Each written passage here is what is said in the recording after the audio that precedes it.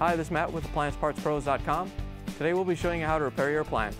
Remember, anytime you work on an appliance, make sure it's unplugged or the circuit breakers are off so there's no chance of electrocution.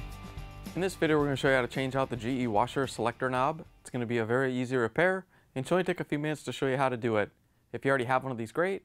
If not, you can click on the link below or get it at AppliancePartsPros.com.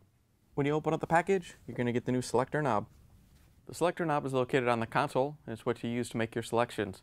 The main reason you'll be changing it out is if it's lost or damaged. There's two selector knobs on the control panel. They're both changed out the same way. To get the selector knob off, all you have to do is lift up on it so it comes off the shaft.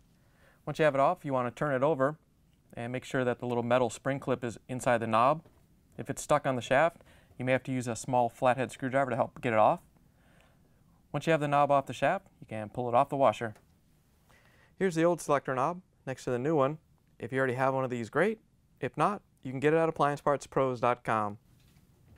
To put the new selector knob on, you want to make sure that you match up the D shape on the shaft with the D shape of the knob. And then you can turn it over and push it on. Once you have the selector knob on, you can plug the washer back in and take it for a spin. Thanks for joining us for another successful repair brought to you by AppliancePartsPros.com.